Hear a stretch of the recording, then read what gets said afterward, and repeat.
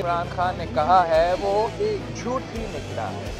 ان کے اپنے وزیر اٹھارہویں آئین کے خلاف بولتے ہیں۔ وفا اٹھارہویں ترمیم پر عمل نہیں کر رہی ہے۔ پاکستان پیپلز پارٹی، نہ صرف اپنا لیگل آپشن استعمال کریں گے، مگر ہم سیاسی آپشن پارلیمان کے اندر اور پارلیمان کا باہر بھی استعمال کریں گے۔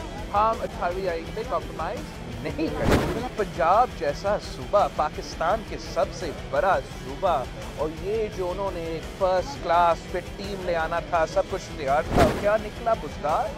اس میں یہ کیا چیز ہے کہ خان صاحب اتنا ٹھائی کے ساتھ بیچارہ وسیر اکرم بھی کہہ رہا ہے، میرا کیا قصور ہے؟ ایک تو پاکستان پیپلز پارٹی کے لیے کوئی مشکل وقت نہیں ہے۔ کوئی کت پتلی وزیر اعظم جو ہے، ہمارے لیے کوئی مشکل وقت کھڑا نہیں کر سکتا۔